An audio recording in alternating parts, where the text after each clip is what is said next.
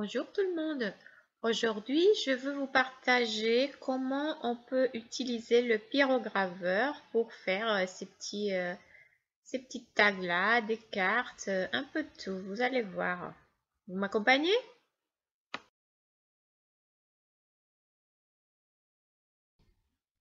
Aujourd'hui, on va essayer de faire une version d'un petit outil qui s'appelle Fuse. Nous, on va utiliser le pyrograveur qu'on trouve euh, sur le commerce pas cher euh, ces jours-ci, pendant que le Fuse, il est beaucoup plus cher. J'imagine qu'il est beaucoup plus facile à utiliser aussi. Mais bon, moi, j'ai réussi à faire des choses euh, belles avec ça. On peut utiliser des sacs plastiques comme celui-là. On peut utiliser les pochettes protège documents aussi. On peut utiliser les, feuilles de, de la plastifieuse Sauf que ce n'est pas si blanc, si transparent que, les autres euh, matériaux. Et on peut utiliser les, sachets des paquets qu'on achète avec des stickers comme ça. On peut utiliser aussi ces, sachets-là. On les recycle et ça fonctionne très bien. Je commencer, bah, j'ai un carton aussi pour protéger ma surface. Et là, je vais m'aider d'un die parce que je cette forme-là. Alors, vous pouvez utiliser simplement une règle métallique. Ça, c'est un morceau de papier cuisson que peut-être on va utiliser après aussi. Euh, alors là, mon pyrograveur, il chauffe depuis quelques temps. Il faut laisser euh, chauffer pas mal. Et après, chaque euh, plastique va, va nécessiter d'un nombre de passages différents. C'est à vous d'essayer euh, là, vous voyez, là, pour celui-là, c'est assez rapide. Avec un seul passage, presque, le, plastique euh, euh, s'adhère, ça, colle. C'est pour ça que ça s'appelle fuse, parce qu'il y a une fusion du plastique. Et, c'est comme ça qu'on peut après le remplir des petits trucs. Je trouve que c'est le rendu, il le rendu final, il est assez beau. Vous allez voir. Là, je vais faire une forme un peu plus grande parce que je vais faire une espèce d'étiquette pour, euh, la mettre euh, sur une bouteille de vin qu'on va offrir à consommer avec modération, sûrement. Euh, c'est pour ça que je le fais un peu plus long que mon étiquette d'origine. Alors là, vous voyez que très facilement, ça se décolle. S'il y a des morceaux qui ne décollent pas, bah, simplement on utilise les ciseaux pour, euh, pour euh, couper. Mais bon, c'est sûr aussi qu'on doit vérifier que, euh, que tous les côtés, que, que, rien va s'échapper. Alors j'utilise un petit truc que j'utilise pour la peinture pour voir si tous les bords sont bien. Et là, super. Parce que on est bien. Si c'est si c'est pas bien de la première fois, bah, vous pourrez passer avant de commencer à mettre votre, vos petits paillettes et tout ce qu'on va mettre dedans parce que sinon c'est compliqué. Qu'est-ce qu'on peut mettre dedans? Tout ce qu'on veut. On peut mettre des paillettes, euh, des, euh, du glitter aussi, des petits euh, trucs qu'on utilise pour la décoration de table. Bah, vous pouvez mettre ce que vous voulez, ce que vous avez chez vous. Ici, il y a pas mal de choix dans les commerces maintenant pour Noël. On trouve des étoiles, des flocons, des sapins de Noël, des, petits euh, séquins, tout ce que vous voulez. Moi, j'ai l'habitude de faire mon petit mélange d'abord, euh, simplement pour une question pratique, et de le mettre après. Alors, les gros, les gros trucs, je les mets avant à la main. Et j'ai fait aussi une espèce d'entonnoir en carton tout simple pour, euh, pour faire passer le, reste. Vous allez voir, je trouve que c'est plus pratique. Surtout aussi quand on utilise des... Là, c'est pas nécessairement très, très, étroit, mais des fois, on met des trucs dans des, dans des, dans des sachets assez étroits et ça, ça aide beaucoup d'avoir un petit entonnoir comme ça. Euh, on peut faire aussi, différentes choses. On peut faire des cartes, on peut faire des étiquettes, on peut faire des marque-pages. Là, c'est votre imagination qui va décider toutes les choses que vous pouvez faire avec. Je trouve que c'est très très beau. Vous pouvez utiliser vos die pour faire des formes différentes, pour, faire, pour utiliser pour faire vos shakers plus facilement. Et là, vous voyez aussi, j'utilise un die rond pour m'aider simplement à, faire un trou parce que comme je vous dis, là, je voulais faire une étiquette pour une bouteille. Alors là, j'ai décidé de, la coller pour simplement pour m'aider un peu. Euh, là aussi, il faut s'assurer que le pyrograveur il est assez chaud. Et on va faire le tour. On va faire le tour euh, jusqu'à que ça se décolle tout seul. Vous allez voir. Là, peut-être que je passe, euh, peut-être deux fois, je pense et, comme le pyrograveur est assez chaud, ça va se décoller facilement et euh, c'est complètement soudé. Alors pas de problème, les paillettes, les petites paillettes, elles vont pas tomber. Et on aura une jolie étiquette. Là, c'est à vous d'essayer. Comme je vous dis, ça dépend le matériel. Des fois, il faut passer plus. Euh, ça dépend si le plastique il est plus, plus épais ou pas. Vous voyez, là, ça se décolle très facilement. Je vérifie et c'est bon. Je vais aussi faire, euh, faire le... Désolé, c'est mon... Faire le, bord là pour complètement euh, souder. C'était mon téléphone qui sonnait. Là, je l'ai mis en silence.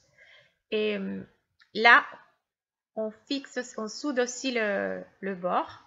Et là, on a une étiquette qu'on va euh, décorer euh, simplement après. Je vous montrerai à la fin, mais c'est rien de, bah, rien de compliqué, mais une petite décoration. Et je trouve que pour, comme on est invité pour Noël, chez les amis, comme ça, et on, emmène une petite bouteille des fois, je, trouve que c'est une façon très très jolie pour, pour présenter une bouteille. Vous allez voir à la fin.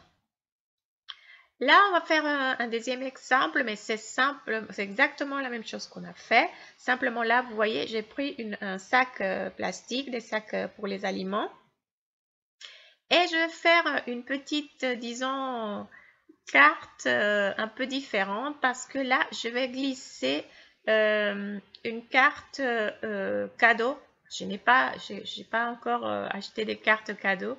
Mais c'est quelque chose que je vais faire après. Mais là, je voulais vous montrer comment, comment s'y prendre. C'est pas du tout compliqué. Là, on fait un rectangle. On, s'assure que sur la largeur, euh, on réussit quand même à, mettre une carte cadeau. Là, je vérifie encore avec euh, cet outil-là. Vous pouvez mettre une règle, n'importe quoi. C'est simplement pour vous assurer qu'il n'y a pas de trou et là, la différence avec celle-là, c'est que je vais glisser à l'intérieur un morceau de rhodoïde.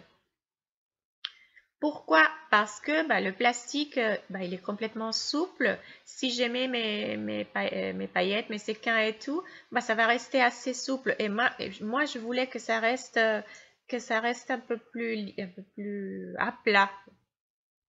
Je ne sais pas si je m'exprime correctement. Mais là, je veux que ça reste avec la forme d'une carte. Et c'est la différence, c'est ça que je vais ajouter du... Là, je, vais faire mon mélange de paillettes de couleur de Noël avec des petits sapins de Noël. Tout ce que j'ai chez moi, des flocons rouges. Je m'amuse à faire mon mélange. Et on va glisser tout ça à l'intérieur. Et après, derrière, je vais glisser une carte cadeau. Et c'est aussi une façon assez originale et différente de, de, bah, de donner une carte cadeau. Je trouve on peut aussi faire une belle carte et la mettre à l'intérieur. Là, vous voyez, c'est une guirlande que, que j'ai vu, j'ai beaucoup aimé, mais pas pour la mettre chez moi, mais simplement j'ai aimé les, pièces. Alors, euh, j'ai des coupes euh, de petites pièces, elles sont assez plates, alors ça va. Et, et je, les, je les glisse euh, dans ma pochette, simplement. Vous voyez? Bah, Il faut voir si on a mis assez. Ça, c'est euh, au goût de chacun. Il y a des gens qui mettent beaucoup, beaucoup, beaucoup. Moi, je pense que je la, je la, je la remplis à peu près à moitié. Je pense que c'est assez. On peut aussi coller quelques paillettes si vous voulez qu'elles restent collées sur le, sur le, sur le rhodoïde. Et là, vous voyez, bah, j'ai une carte. Ça, c'est une carte fidélité, mais c'est parce que j'avais pas de carte cadeau. Et normalement, là, on, on, la, on passerait encore le pyrograveur pour la fermer. Mais, mais bon, dans mon cas, probablement on la fermerait un peu plus bas. Mais là, je la laisse comme ça parce que c'est sûr que je vais utiliser ça après pour moi pour, pour offrir une carte cadeau. Alors, je la, je pour vous pour, euh, pour cette explication simplement. Mais après, ça va être découpé euh, plus bas.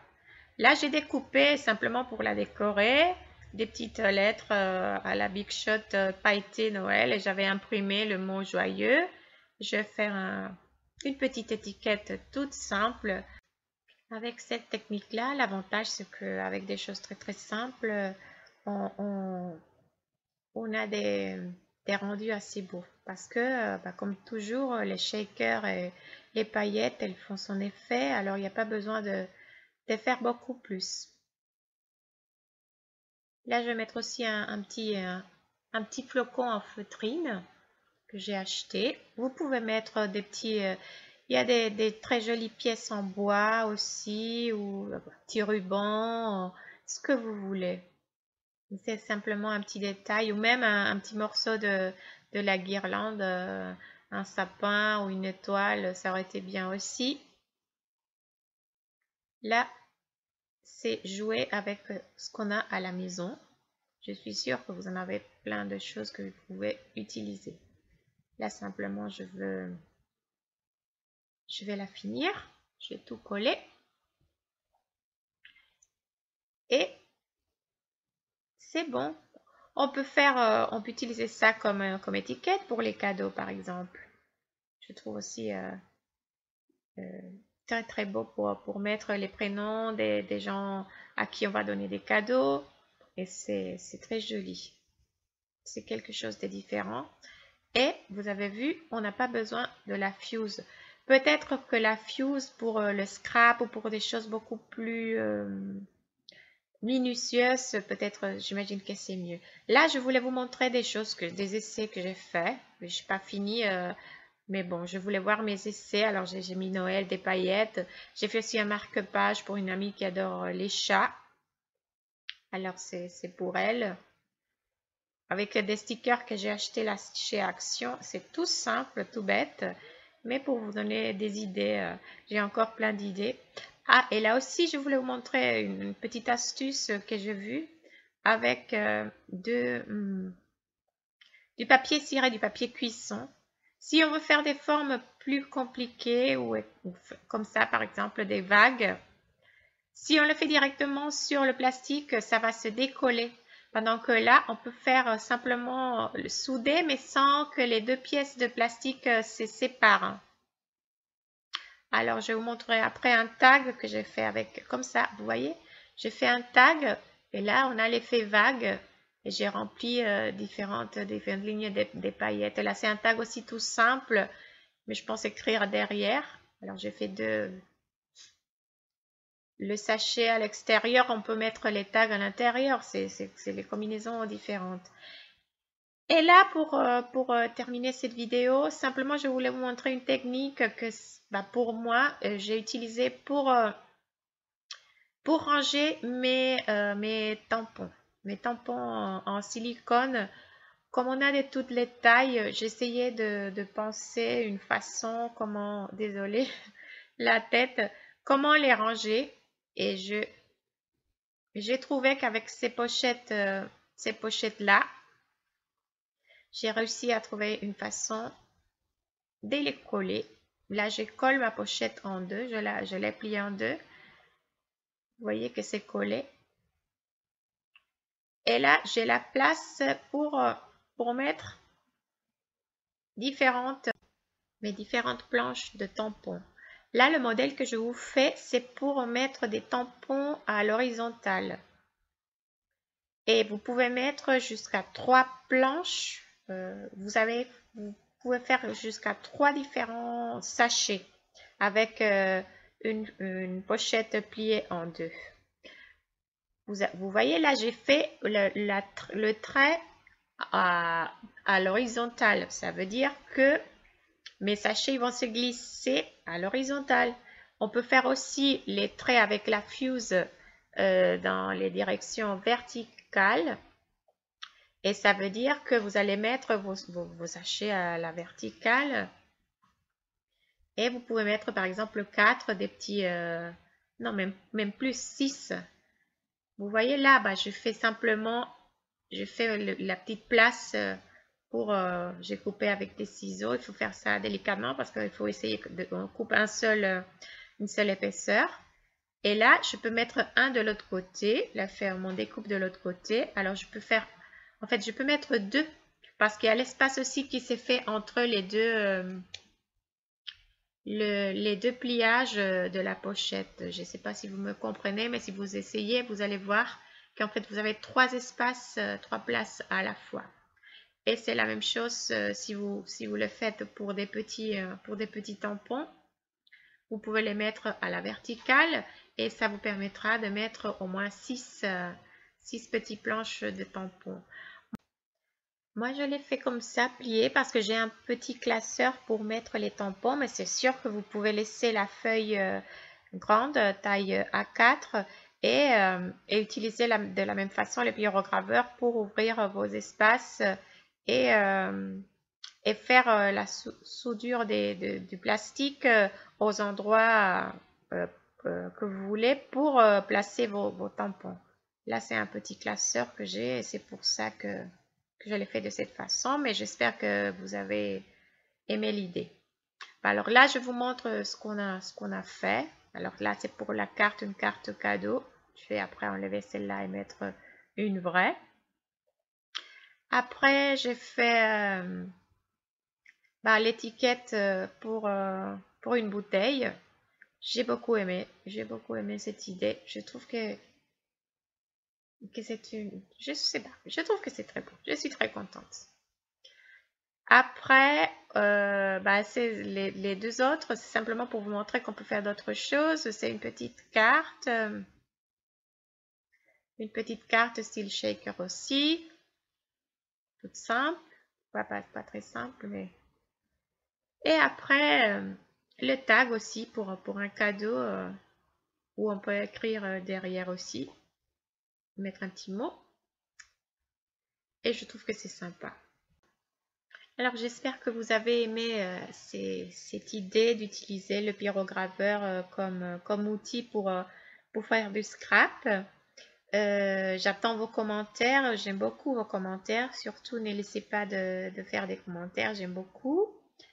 Euh, je voulais vous dire aussi, des fois, il y a des choses que je dis pas parce que j'oublie ou, ou, des petites indications, des astuces comme ça que je mets sur le blog ou même euh, euh, des, des, liens, s'il y a des outils ou des choses comme ça. Normalement, je les laisse sur le blog. Alors, n'hésitez pas à visiter le blog. L'adresse, il est indiqué sur la description de la vidéo. Alors, je vous dis merci beaucoup. Euh, si vous voulez euh, recevoir euh, des notifications aussi, il faut activer la cloche à côté de, du mot s'abonner. Et je vous dis à bientôt. Merci beaucoup. Ciao